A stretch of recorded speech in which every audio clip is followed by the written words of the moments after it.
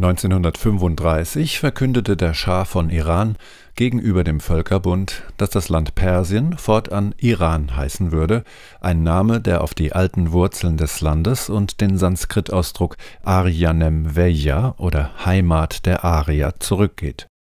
1936 erklärte Deutschland den Iran zur zweiten arischen Nation, die von den Nürnberger Gesetzen ausgenommen ist Deutschland verlieh dem iranischen Königreich sein Siegel der rassischen Reinheit. Die Nürnberger Gesetze, die den Antisemitismus zum Gesetz erhoben hatten, wurden geändert und schlossen die persischen Juden ein.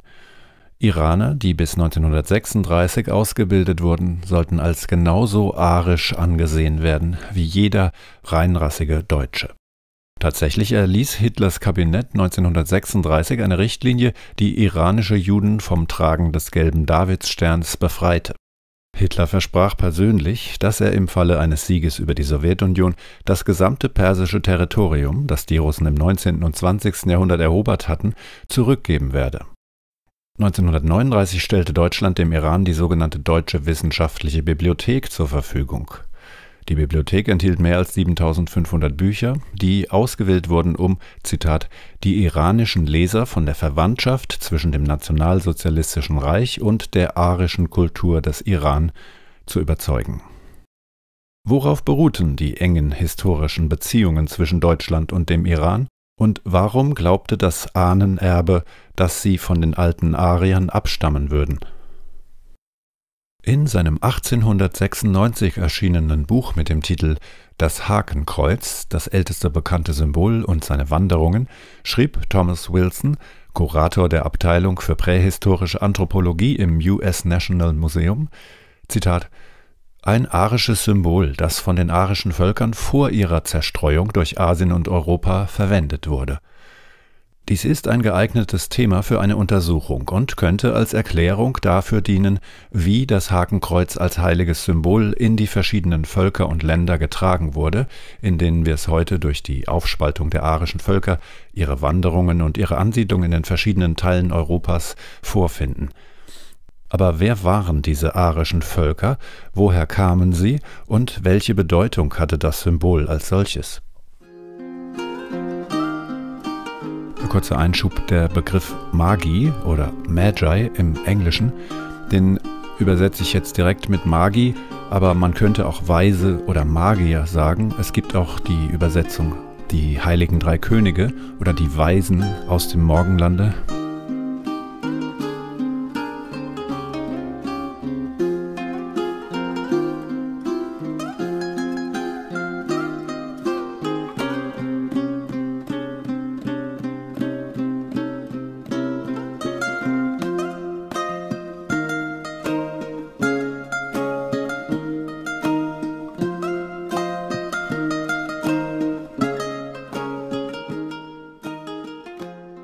In der Religion der arischen Magi des alten Iran ist Zurwan sowohl der Sonnengott als auch der Gott von Zeit und Raum. Weder gut noch böse, sondern völlig neutral, der ursprüngliche Hüter des Gleichgewichts, der Neutralität und verantwortlich für den Fluss der Zeit in der gesamten Existenz. Zurwans wahre Gestalt ist für jeden Sterblichen absolut nicht zu erkennen oder zu erahnen, wird aber manchmal dargestellt als Vater Zeit, ein alter Mann mit einem langen silbernen Bart. Zurwan ist der androgyne Elternteil der gleichberechtigten, aber gegensätzlichen Zwillinge Ahura Mazda und Angra Mainyu, auch Ariman genannt. Ahura Mazda ist der Himmelsgott der altiranischen Religion des Zoroastrismus, wobei Ahura Herr bedeutet und Mazda für Weisheit steht Ahriman ist in der zoroastrischen Religion der zerstörerische oder böse Geist, der in einen Kampf mit Ahura Mazda verwickelt ist, der 12.000 Jahre dauert und an dessen Ende die böse Schöpfung zerstört wird.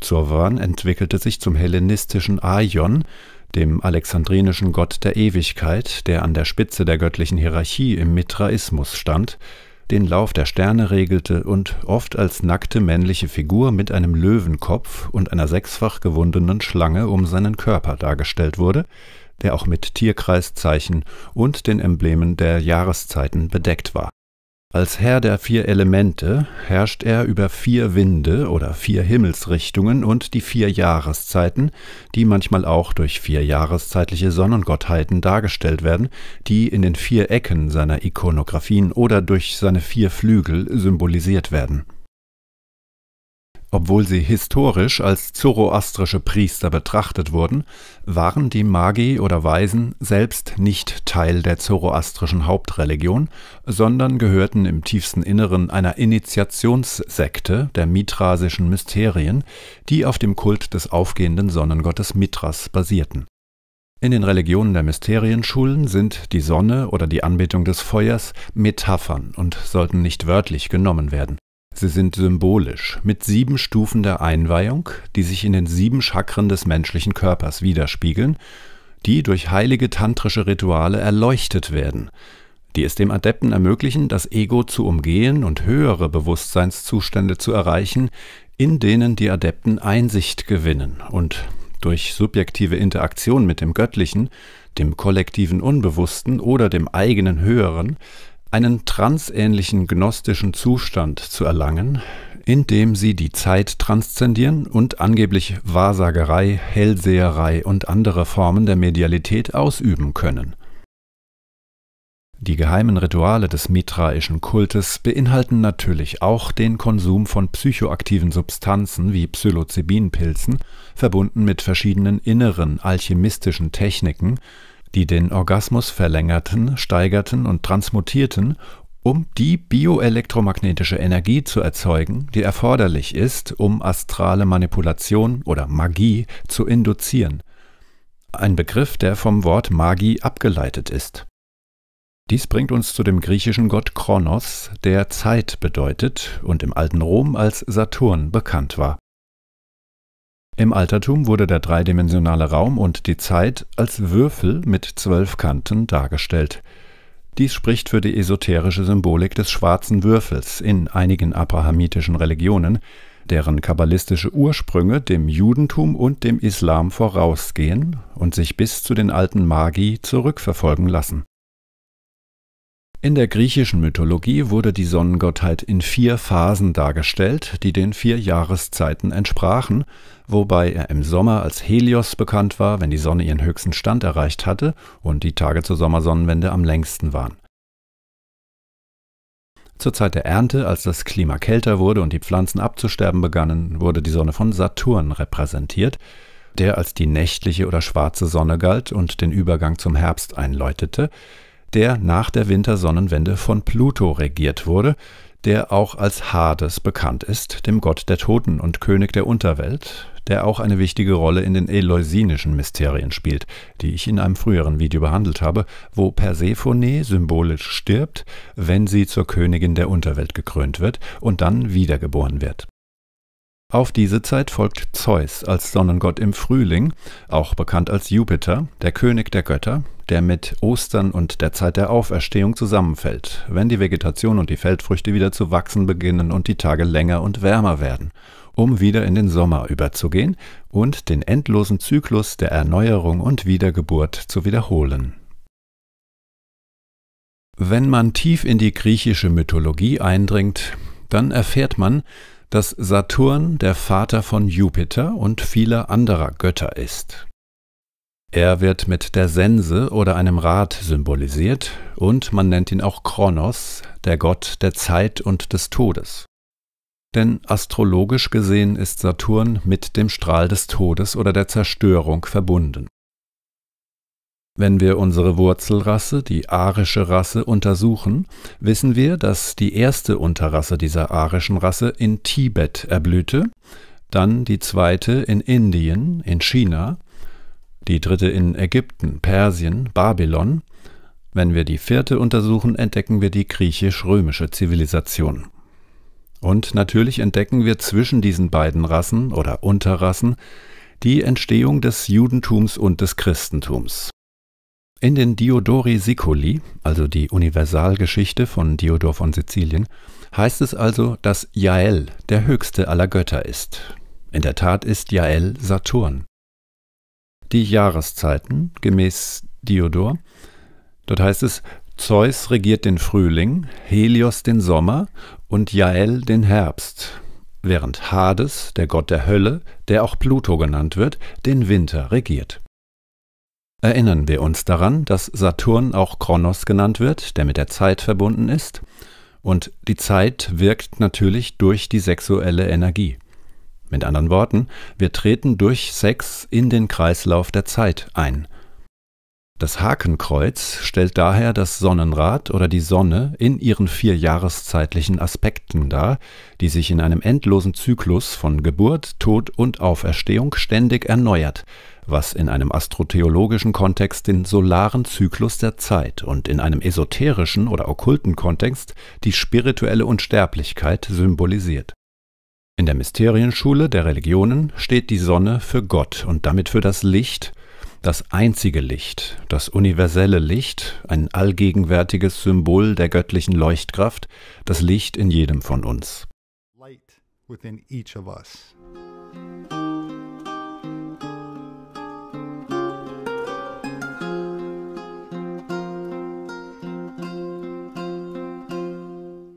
Der Einfluss Zurwans, der eng mit dem ewigen Licht und der endlosen Zeit verbunden ist, findet sich auch in der Figur des Buddha Amitabha wieder. Der Name Amitabha bedeutet übersetzt unendliches Licht, der in sehr alten Zeiten auf einem Mönch namens Dharmakara basiert haben könnte, der in einigen Versionen als ehemaliger arischer König beschrieben wird, da sogar Gautama Buddha selbst arischer Adel war, der als blauäugig beschrieben wird und üblicherweise mit dem Hakenkreuz-Symbol assoziiert wird, das dem Buddhismus selbst vorausging und in Tibet auch von der früheren Bön-Religion verehrt wurde, die, laut Madame Helena Blavatsky, ihre Tradition der Magie von den alten Ariern erbte eine alte buddhistische Skulptur mit einem Hakenkreuz, die 1939 von der deutschen nationalsozialistischen Expedition nach Tibet entdeckt wurde und als Eiserner Mann bekannt ist, wurde aus einem Meteoriten geschnitzt, der vor etwa 10.000 bis 15.000 Jahren auf die Erde fiel, also in einem Zeitraum, in dem Atlantis angeblich durch einen Kataklysmus zerstört wurde der Phänotyp der Statue, die ein Hakenkreuz auf der Brust trägt, scheint bärtig zu sein, hat kaukasische Gesichtszüge und trägt skythische Kleidung. Bei den Skythen handelt es sich um einen arischen Stamm aus Nordiran, der im 5. Jahrhundert aus der Geschichte verschwand. Aus dieser Region im Nordiran in der Nähe der Türkei und von Städten wie Göbekli Tepe stammen die alten Arier, die in der Fachzeitschrift Nature Communications als blonde, blauäugige und hellhäutige beschrieben werden, die vor 6500 Jahren die Kupfersteinzeit in der Levante einführten. Durch die Sequenzierung von DNA aus der fernen Vergangenheit haben Archäologen entdeckt, dass vor tausenden von Jahren im heutigen Norden Israels Wellen von Migranten aus dem Norden und Osten, dem heutigen Iran, Armenien und der Türkei in die Region kamen und nicht nur neue kulturelle Praktiken mitbrachten, sondern auch neue Gene, darunter die für blaue Augen verantwortlichen, die sich in den antiken Statuen der frühen mesopotamischen Kulturen wie den Sumerern und Babyloniern widerspiegeln. Die aus mehr als 600 Leichen gewonnene DNA, die etwa 6500 Jahre alt ist, macht diese Studie zu einer der größten Studien über antike DNA im Nahen Osten. Sie kam zu dem Ergebnis, dass das für blaue Augen verantwortliche Gen bei 49 Prozent der untersuchten Überreste zu finden war, was darauf hindeutet, dass blaue Augen bei den Bewohnern des oberen Galiläa weit verbreitet waren, ein weit verbreiteter Phänotyp im alten Nahen Osten, ebenso wie helle Haut und blondes Haar, die in der heutigen Zeit sehr selten geworden sind. Dies erklärt natürlich, warum die ältesten Darstellungen von Juden immer modernen Europäern ähneln und warum? Trotz des Widerstandes von staatlich finanzierten Universitäten, die es vorziehen, eine afrozentrische Darstellung zu propagieren, frühe Darstellungen von Jesus Christus, falls es ihn tatsächlich gab, ihn mit dem genauen Phänotyp des alten Nahen Ostens mit blondem Haar und blauen Augen darstellten Ende 2017 gaben Wissenschaftler die Entdeckung einer griechischen Originalabschrift eines heretischen christlichen Manuskriptes bekannt, das die Geschichte dessen erzählt, was Jesus insgeheim über seinen Bruder Jakobus, auch bekannt als Jakobus der Gerechte, einen frühen Führer der Kirche, lehrte. Die Seite mit der koptischen Schrift stammt aus dem Nag Hammadi, das heute in der Universität Oxford liegt und 13 koptische gnostische Bücher enthält, die 1945 in Ägypten gefunden wurden. Darin finden sich Gespräche, die angeblich zwischen Jesus und seinem Bruder Jakobus stattfanden und in denen Jesus geheime Lehren vermittelte Natürlich wurde Jesus auch mit Hakenkreuzsymbolen abgebildet, was auf das uralte vorchristliche Konzept von Tod und Wiedergeburt bzw. spiritueller Unsterblichkeit hinweist, das auf frühchristlichen Statuen und anderer Ikonographie zu sehen ist, auch an Orten wie dem antiken Äthiopien, das laut Herodot einst die Heimat von Menschen mit sehr heller Hautfarbe war was durch die alte äthiopische DNA bestätigt wird, die ein hohes Maß an eurasischer Vermischung in der Antike zeigt. Die religiöse Philosophie jener Zeit in der Levante umfasste auch christlich-gnostische Sekten wie die Essener, die im ersten und zweiten Jahrhundert ihre Blütezeit erlebten Sie spiegelten dieselben dualistischen Konzepte wider, die in den Mysterienlehren der Magi zu finden waren und die in die jüdische kabbalistische Mystik übernommen wurden, die von den Juden nach dem Fall Babylons verbreitet wurde, wo sie möglicherweise während ihrer Gefangenschaft esoterische Lehren der arischen Magi aufnahmen.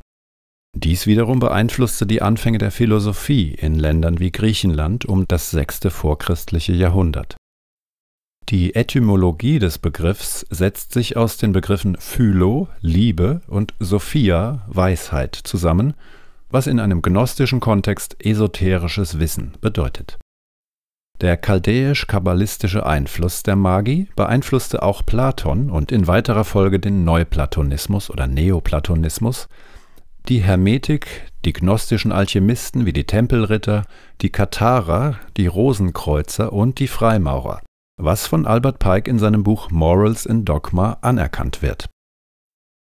Aus Albert Pike Morals in Dogma, deutsche Ausgabe, Band 2 Die okkulte Wissenschaft der alten Weisen war unter den Schatten der alten Mysterien verborgen. Sie wurde von den Gnostikern unvollkommen aufgedeckt oder eher entstellt.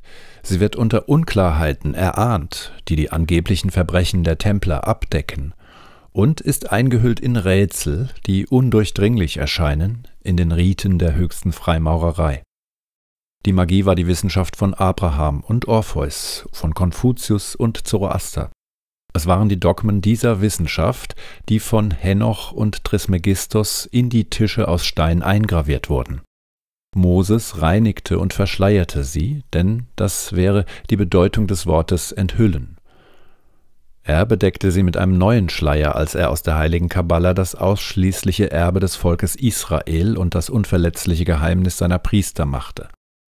Die Mysterien von Theben und Eleusis bewahrten unter den Völkern einige Symbole davon, die schon fertig verändert waren und deren mysteriöser Schlüssel unter den Instrumenten eines immerwährenden Aberglaubens verloren ging.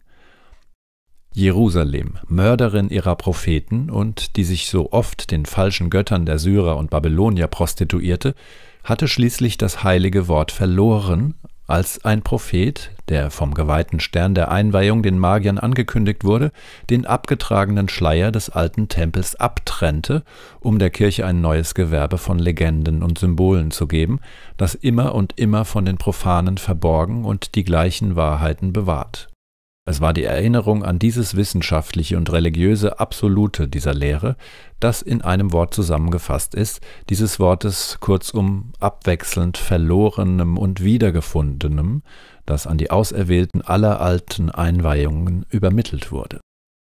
Es war dies die gleiche Erinnerung erhalten oder vielleicht entweiht in dem berühmten Orden der Templer, das wurde für alle Geheimbünde des Rosenkreuz, der Illuminaten und der hermetischen Freimaurer der Grund ihrer seltsamen Riten, ihrer mehr oder weniger konventionellen Zeichen und vor allem ihrer gegenseitigen Hingabe und ihrer Macht.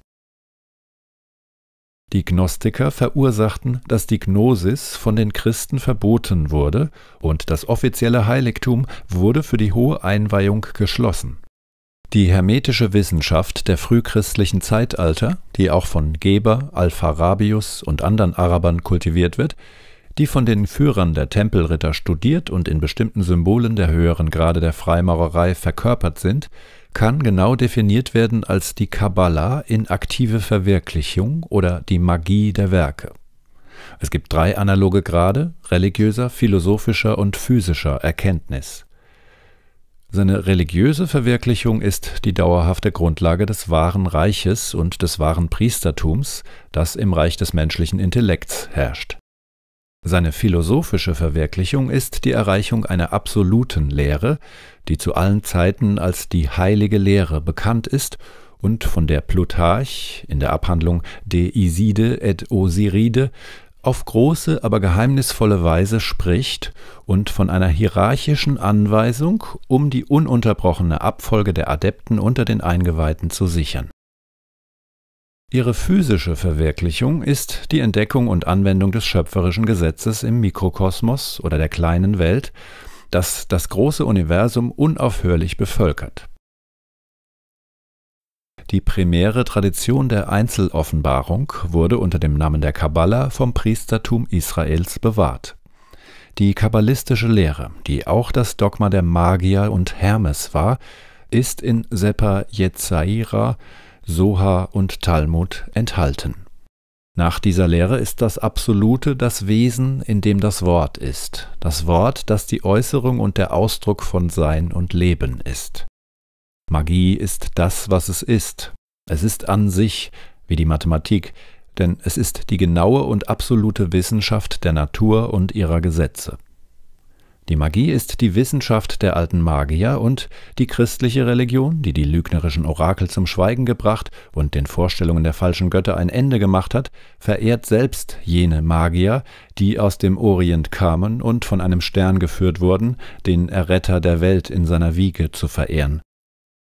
Die Tradition gibt diesen Magiern auch den Titel Könige, weil die Einweihung in die Magie eine echte königliche Abgabe darstellt und weil die großartige Kunst der Magie von allen Adepten als die königliche Kunst oder dem heiligen Bereich oder Reich Sanctum Regnum, heiliges Königreich, gestaltet wird. Ende des Zitats von Albert Pike. Nun David Livingstone. Man muss von der Vorstellung ausgehen, dass die heiligen drei Könige Priester der Religion des Zarathustra waren, des sogenannten Zoroastrismus. Das ist eine persische Religion. Sie ist dafür bekannt, dass es zwei Götter gibt, Ahura Mazda und Ariman, die sich im Grunde in einem ewigen kosmischen Konflikt befinden. Die Magi, die Weisen, die heiligen drei Könige, die in der ganzen Welt berühmt wurden, vertraten eine Reihe von Lehren und Glaubensvorstellungen, die nichts mit dem orthodoxen Zoroastrismus zu tun hatten. Im Grunde verehrten sie also eine Art von sterbendem Gott. In diesem Fall war es Mithras oder Mitra, was im Grunde die persische Version von Baal ist. Und eine Version der Göttin. Ich glaube, ihr Name war Anahita, was der Ursprung von Athena ist. Und sie praktizierten und glaubten an Astrologie, Numerologie, sie glaubten an Reinkarnation und Vegetarismus.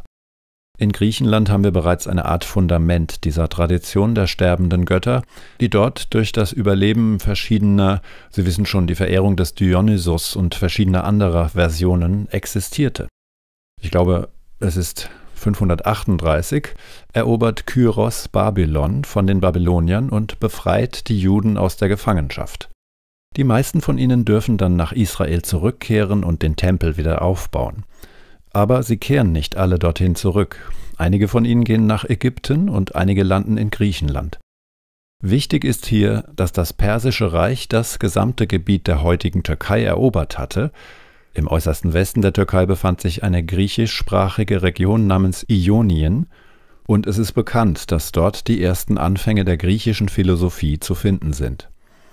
Und was die Historiker nicht sagen, ist, dass diese Philosophen unter persischer Besatzung entstanden, obwohl sie als Griechen bezeichnet werden Wenn man sich also die sogenannten Vorsokratiker, also vor Sokrates, die frühesten griechischen Philosophen ansieht, so finden sich in ihren Ideen Elemente, die dem Kult der Magie ähnlich sind. Vor allem kann man Heraklit lesen, der aus dem 5. Jahrhundert vor Christus stammt. Er sagt, dass der Dionysos-Kult von den Magi entlehnt wurde und dass es sich um einen teuflischen Kult handelt, der dem Phallus gewidmet ist. Der Dionysos-Kult war also von zentraler Bedeutung, denn er war die früheste Form der antiken Mysterien im alten Griechenland.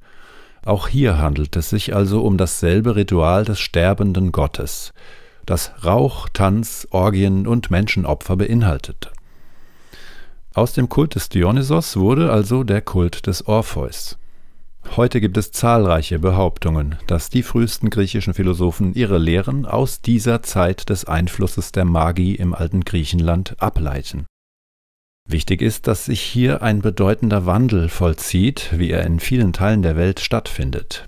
Dies ist auch das sechste Jahrhundert, das von den Gelehrten oft als das axiale Zeitalter bezeichnet wird, weil in diesem Jahrhundert so viele Veränderungen in den Weltreligionen und Ideen stattfanden. Wir haben es also mit einer archaischen, antiken religiösen Tradition in Griechenland zu tun, die verdrängt wurde von diesem neuen Kult, insbesondere der Kult des Dionysos, aber auch dem Aufkommen der griechischen Philosophie. Und das wurde in unserer Zeit von den Philosophen der Aufklärung aufgegriffen, um zu suggerieren, dass die Griechen, denn die Aufklärung war das sogenannte Zeitalter der Vernunft, also versuchten sie die Geschichte als eine Evolution der Vernunft zu sehen weshalb sie behaupteten, dass die Griechen die Religion zugunsten der Vernunft ablehnten und den Aberglauben zugunsten des empirischen Denkens aufgaben. In Wirklichkeit nahmen die griechischen Philosophen eine neue Religion an, und diese Religion war der Magiekult. Und wenn man sich die grundlegenden Lehren der frühesten Philosophen, insbesondere von Pythagoras und Platon, ansieht, kann man erkennen, dass sie von den Lehren der Magie abgeleitet sind. Und das ist die Art und Weise, wie sie seither betrachtet wurden. Aus diesem Grunde wurde Platon im Laufe der Geschichte auch von jüdischen Kabbalisten immer als eine der wichtigsten Gründungsfiguren der Kabbala angesehen, und aus diesem Grund können Sie jetzt sehen, warum Albert Pike dieses Erbe für die Magie beanspruchen wird. Dieser Magiekult ist im Grunde genommen die frühe jüdische Kabbala, die, weil die damalige Welt nicht wusste, wer die Juden waren, sie im Grunde genommen mit den Persern oder Babyloniern verwechselte, weshalb sie als Phönizier bekannt waren und als Menschen beschrieben wurden, die die Beschneidung praktizieren, aber die antike Welt machte keinen Unterschied in Bezug auf ihre religiösen Praktiken. Und so verbreitete sich dieser Kult mehr und mehr, vor allem durch den griechischen Einfluss, als Alexander der Große einen großen Teil der Welt eroberte wurde diese griechische Version der Kabbala dann in verschiedene Teile der Welt eingeschleust, vor allem in die Stadt Alexandria. Und Alexandria ist tatsächlich das, was wir als die Anfänge der okkulten Tradition betrachten können, denn hier fließen all diese verschiedenen Versionen zusammen. In Alexandria gibt es also den Einfluss der persischen okkulten Tradition, der ägyptischen okkulten Tradition, die als Hermetik bekannt ist, den Einfluss der verschiedenen alten Mysterien, die Mysterien des Mithras, die Mysterien der Sibylle, die Mysterien der Isis, die Mysterien der Osiris. Es waren im Grunde genommen alle nur Variationen der alten Mysterien des sterbenden Gottes. Der jüdische Mystizismus, der sich in Gruppen wie den Essenern und einer anderen mit ihnen verbundenen Gruppe in Ägypten, insbesondere in Alexandria, den Therapeutae, nachweisen lässt.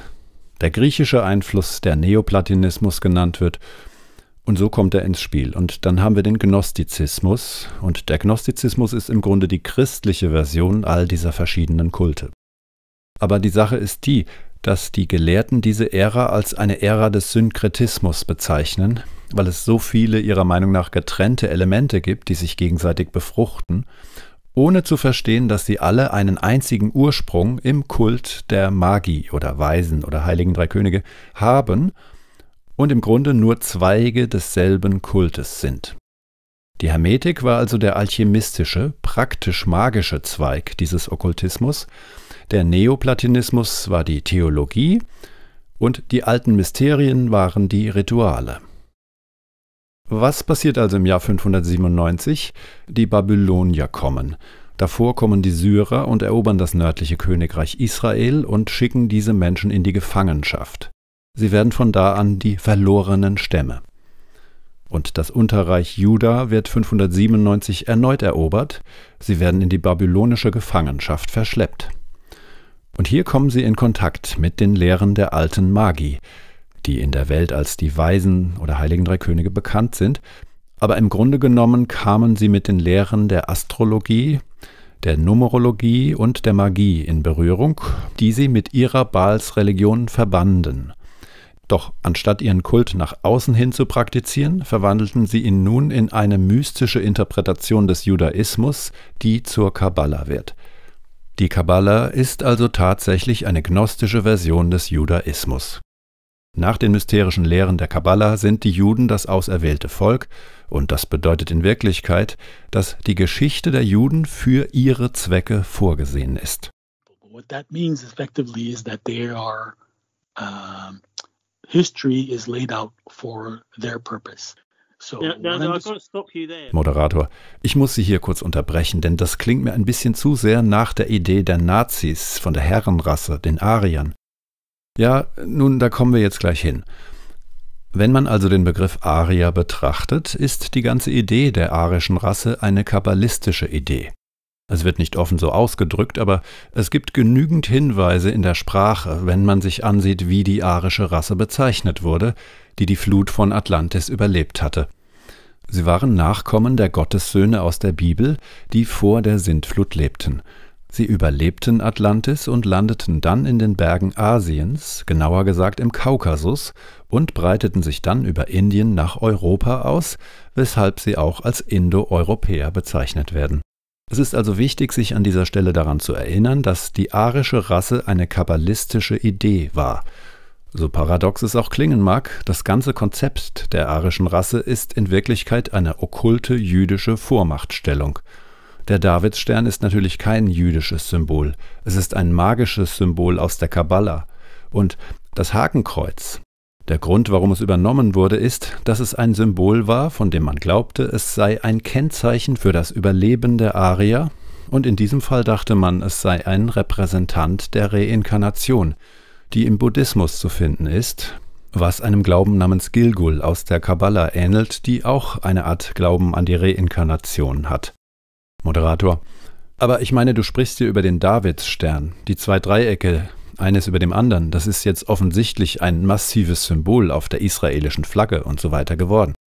Ja, die Idee ist, sie stammt aus der Legende, die besagt, dass Salomon die Macht erhielt, Dämonen, Geister, im Islam werden sie Djinn genannt, zu beschäftigen, um ihm beim Bau des Tempels zu helfen. Er besaß also einen Ring mit einem Siegel, das ihm offenbar Macht über diese Wesenheiten gab. Und deshalb ist dieses Handwerk, die Hexerei, sozusagen das Handwerk der Freimaurerei. Und deshalb versuchen die Freimaurer allegorisch, den Tempel Salomons wieder aufzubauen, indem sie das Handwerk und das Siegel Salomons benutzen, das die Kontrolle über die Wesenheiten bedeutet, um den Tempel wieder aufzubauen, was eine Allegorie für den Aufbau einer effektiven, entschuldigen Sie das Klischee, aber neuen Weltordnung ist. To rebuild the, the temple, which is an allegory for building uh, effectively, you know, sorry for the cliche, but a new world order.